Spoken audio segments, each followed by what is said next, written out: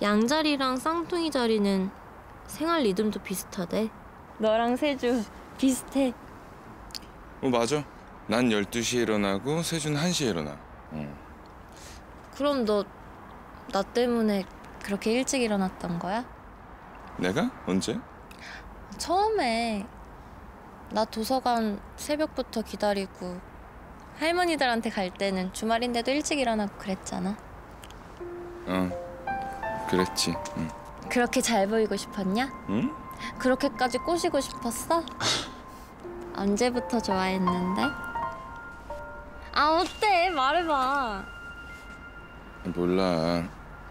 아 진짜 언제부터 좋아한 건지. 그냥 처음부터 운명적으로 좋아했다 하면 되지. 수줍하긴. 내 별자리는 어디 있어? 지금은 안 보이지. 왜? 가을 별자리니까. 수명을 다 한 거야? 죽은 거야? 아니, 아, 아 그게 아닌데. 아니 가을에 볼 수 있는 별자리니까. 아니 그니까. 근데 나는 봄에 태어나는데 곧 내 생일인데. 응? 그게 무슨 말이야? 아니 왜? 아 그런 게 아닌데. 아니 가을에 보이는 별자리니까. 아니 그니까 왜? 아 이런 게 포장마차구나? 껍데기에 소주 한 잔? 고깃집 사장이 남의 집 고기 먹고 누님 좋았어요.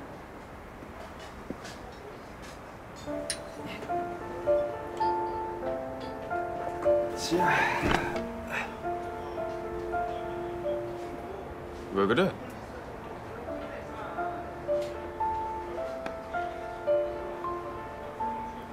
티 안 나게 저쪽 좀 봐.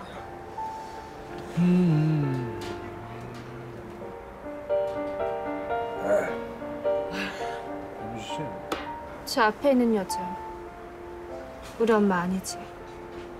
아닌 것 같네.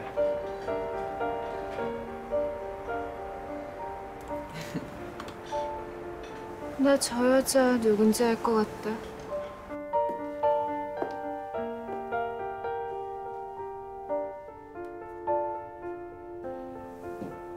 근데 저기 은퇴이랑 옆에 분들은 누구야? 아, 태인의 엄마. 닮았지? 누군데?